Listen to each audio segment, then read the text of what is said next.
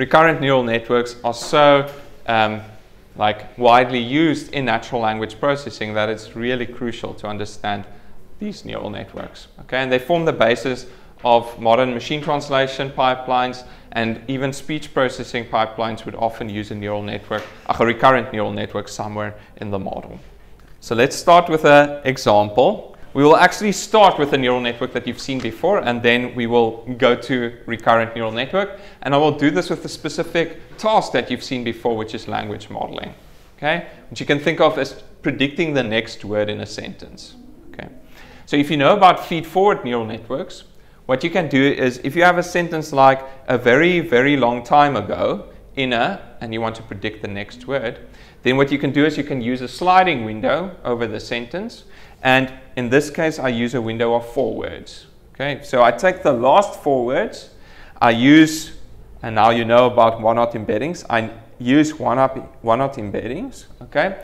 I look up the corresponding embedding in my matrix E, okay? You've got a little E1 here, which is just e times x1. That would be that little uh, vector there. And now you've got you've got an e2 and an e3 and an e4, and you concatenate them.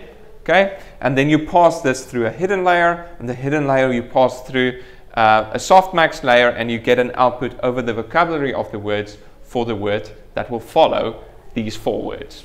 I should just say here, so the output of the model will be values between 0 and 1, and how many of them will you have? The size of your vocabulary. Okay, and sometimes I use that set notation, so you've got the set of words in your vocabulary.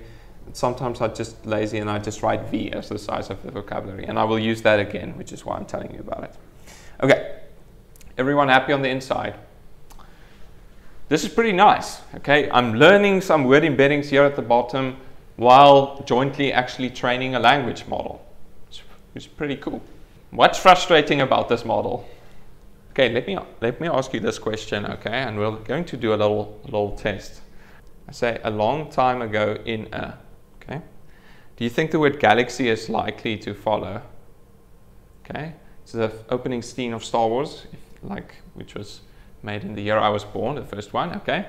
So yes, if I have a long time ago in a, then galaxy is possibly a word to follow. Let me ask you a follow-up question. What if I say a very, very, very long time ago?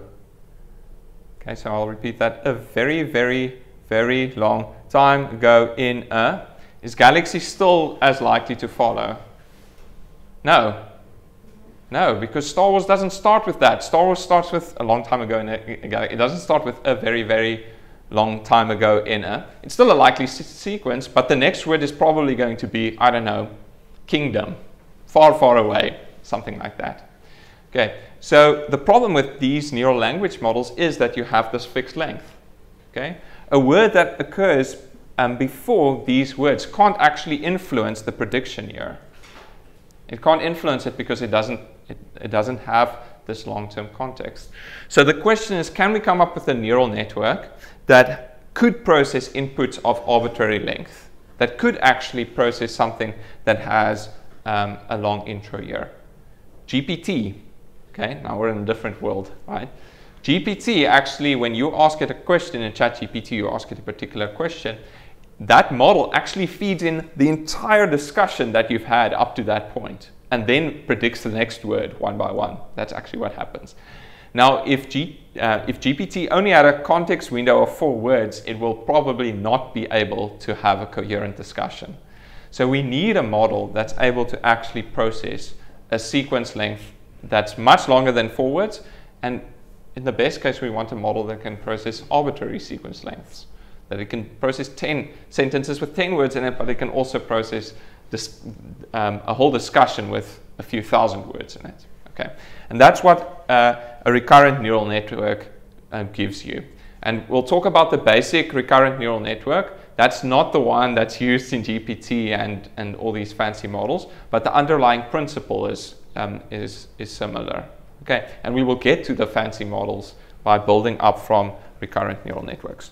So instead of introducing a recurrent neural network uh, in a formal way, I'm just going to jump straight into an example of where a recurrent neural network is going to be used. And fortunately, it's going to be a familiar example because I'm just going to do language modeling with a recurrent neural network. Here is a simple recurrent neural network language model.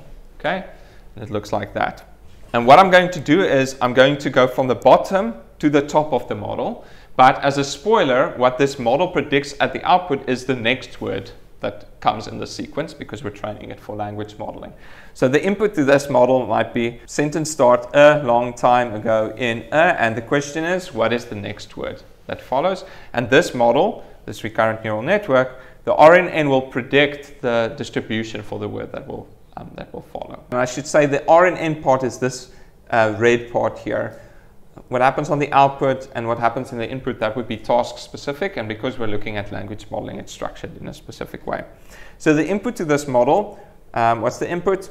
Um, we've now learned about one-hot embeddings. So I'm just feeding in one-hot embeddings corresponding to the particular word in that input um, position.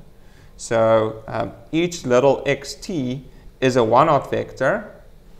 Um, so there are v elements in each of the one-hot vectors, and each element in that one-hot vector is either 0 or 1, corresponding on, uh, to the word.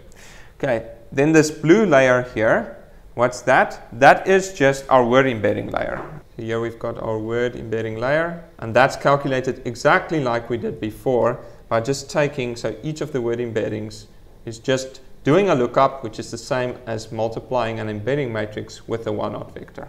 Okay, so that's the, the blue layer there. Now, now we get to the magic part, which is the RNN there in red, there in the middle. Okay. So what's going to happen is we're going to have these things called hidden states. I'm going to look at one particular time point, and then we're going to just build it up from there. Okay, so I'm just going to look at one particular um, point in time. So let's just look at this, like maybe uh, we look at this like third time point here. So what we're going to have is we're going to have an H3, but I'll just call it HT for the arbitrary time.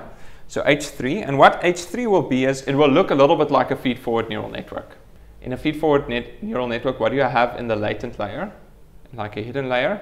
You have some nonlinearity, which we will also have here, sigmoid, ReLU, something like that. Okay, and then we've got a bunch of stuff in the inside. Okay, and in a normal feed-forward neural network, what you would have is you would take the input to the neural network and you would multiply that with some um, weight matrix, right? So you would have um, a weight matrix, and in this case it's called IH for some reason, which I will explain in a second, and that neural network will take in the input. Okay, so E3 in this case, in the, in the general case ET. Okay. In uh, a hidden layer within an, a feed-forward neural network, what else do you have? If I do PyTorch dot, I can't remember the name, linear, something like that, what does it do? It takes the input and it multiplies that with the matrix, and Louise said it, but not very loudly. Uh, you have a bias vector that you also add. Okay, so you've got the bias vector, that's nice.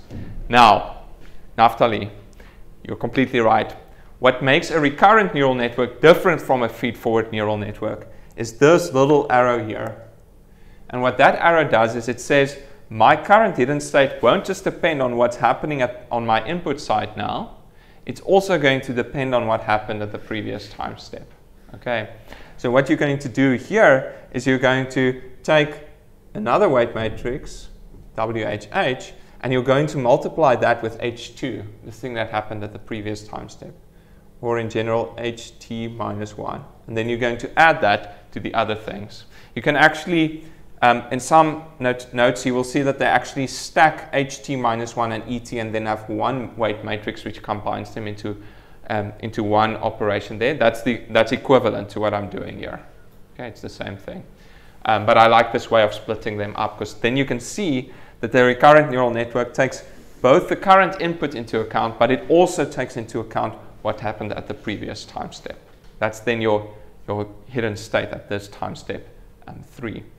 Now the important thing is that this happens actually at every time step. Okay, so at time step 4, I'm going to read in the next word, get the embedding for it, get this vector here and feed that into, uh, into this little function here. But that time step is also going to take into account what happened at the previous time step, okay? And at H5 and at H6, the same thing. So you have this line going through your model, which allows it to keep track of things that happened in the past, okay? And you're not limited by a particular window length. You can actually, well, in principle, this very first vector will influence H1, H1 will influence H2, and so on. So in principle, this very first vector can actually have an influence on this very last vector by following this little for loop over time. It can do so in principle, but in practice sometimes it doesn't, and you need a few tricks to actually allow it to do that, and we will talk about that uh, in, in just a minute. Does this make sense? Okay, so it's like, it's really like a feed-forward neural network, except we've added these like little uh, lines before it. The important thing here is that at every time step, this weight matrix and this weight matrix is the same one across time. So the WHH I apply here is the same as the WHH that I apply here. The WIH input to hidden, input to hidden is the same at this time step and that time step and that time step. So we sometimes talk about tied weights over time. So Cassandra, you're entirely right. You can actually think of this thing um, I think PyTorch actually talks about cells, and this is one cell. It's the same thing, it gets applied over and over again. Um, what is different is the input, the actual stuff that goes in and, and comes out at every time step will be different. Um, but the process that you do every time step is exactly the same. For every time step, the WHH hidden to hidden and input to hidden, every time step those ones would be the same, and your um, bias vector will also be the same. Okay, is everyone happy? Okay, cool. Let's just think about this, this thing only outputting uh, something at, at time step six, just for a moment. What you get as the output of your model is a vector, okay? Um, that vector will differ depending on whether I'm looking at the output here, here, here, here, and here. And I haven't said it, but they are actually going to be outputs at the previous time steps as well. But for now, we're just focusing on this final time step, okay? So, but the output will depend. So you will have an output at time step six, for instance. Okay? And the output will obviously depend on the parameters of the model, which are all these, all these weights and the single embedding matrix, right? All of that is your theta. Also this weight hidden to output, that would also be part of your theta. Okay. The input to the model, how you can think about that is the sequence of vectors, of one-hot vectors in this case, up to time step six. That's the input to the model. Okay, and what comes out is another vector, and that vector is, um, you know, how big is that vector? How many elements in the output of the model if we're doing language modeling? V. Spot on. Um, if we're doing a softmax, what else can you tell me about that v-dimensional vector? It's probabilities. That's spot on. So they sum uh, they sum to 1 and they're all values between 0 and 1. That's what pops out of that model. And sometimes I will use a shorthand notation to denote that by just saying it's the y hat at time step t. Okay, that's the output of the model. Okay, cool. How do you obtain how do you obtain this vector from like this propagation through time? What you do is you take the last hidden state at time step t. Um, so you take the last hidden state at time step t. You multiply that with a matrix the hidden to output matrix. You add a bias, the output bias. You take the softmax, softmax of that thing because I want to squash it so that it's between 0 and 1 and it sums to 1 so that it's probabilities. And that is your y hat t is equal to that softmax function. That gives you the distribution, the predicted distribution for what happens at the next time step. In other words, this time step here at x7. That's what this um, what this output does. It says, is this galaxy or is it land, you know, or is it, I don't know, kingdom or something like that.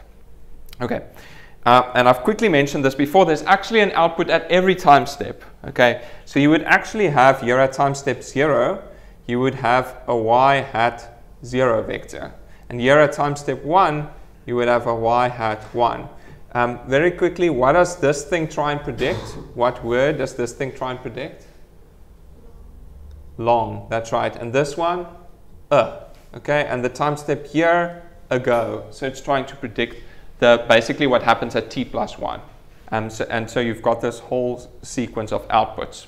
Okay, that's that's uh, RNN embedded within a practical application, and I think you actually understand what the fudge is going on. Okay, which is really cool.